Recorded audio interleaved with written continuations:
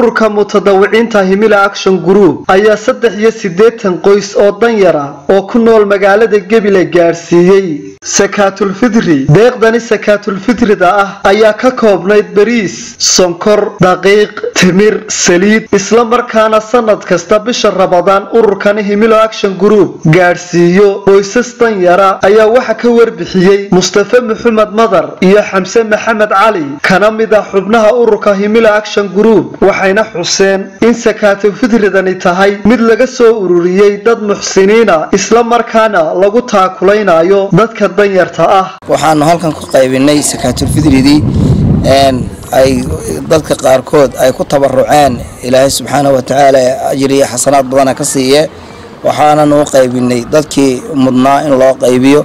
Ay tamyadaasi uu raashinku ka kooban yahay ah. Sida saliiddii iyo timirtii iyo sokortii iyo daqiiqdii iyo bariiskii. Waxaa ilaahay subxaanahu wa tacaala loogu mahadnaqaa in si isdabajoog ah sannadkii saddexaad uu inoo horgeliyey inaynu qabanno in la qaybiyo sakaatulfitr iyadoo ay iska kaashadeen walaalaha ku bahoobay himilo action group. Iyadoo ilaahay mahadii ay tahay in saaka ay qaateen ama ay guddoomeen oo la siiyey saddex iyo siddeetan qoys oo qoyskiiba la siiyey. Tiro fiican oo ka mid a waxyaabaha qaalibka beledkaa sidoo kale qoysaska danyarta ah ayaa ka mahad celiyey raashiinkani loo qaybiyey.